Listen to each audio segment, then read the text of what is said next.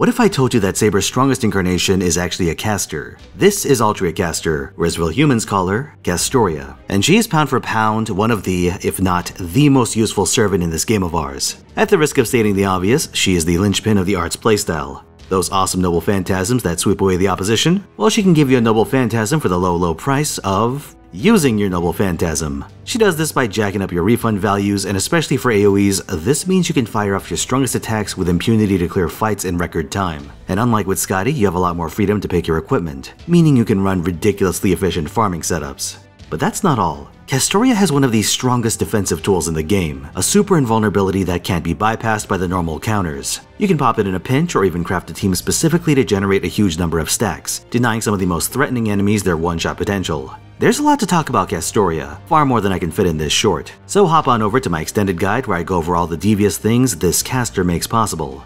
Link in the comments.